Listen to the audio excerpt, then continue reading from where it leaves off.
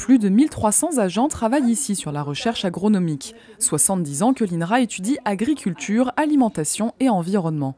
Pour cet anniversaire, le centre de Versailles-Grignon a ouvert ses portes au public, une après-midi de visite consacrée à l'intensification de la production agricole.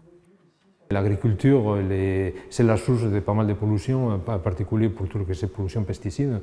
Donc l'origine, c'est vraiment agricole, donc il faut réagir. Et, on réagit à différents niveaux. Nous, à notre niveau, c'est plutôt on réagit du point de vue recherche, pour voir quelle méthode on peut élaborer, quel système de, culture, de système de production, diminuant notre dépendance à l'utilisation des pesticides. Donc on essaie de diminuer les doses.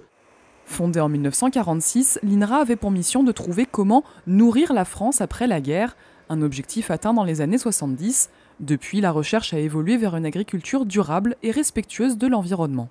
Les appareils qui sont ici mesurent les concentrations en gaz à effet de serre, en polluants atmosphériques, mais pas seulement les concentrations. Ce qu'on mesure surtout, ce qui est surtout spécifique ici, c'est qu'on mesure les émissions et les dépôts de ces composés.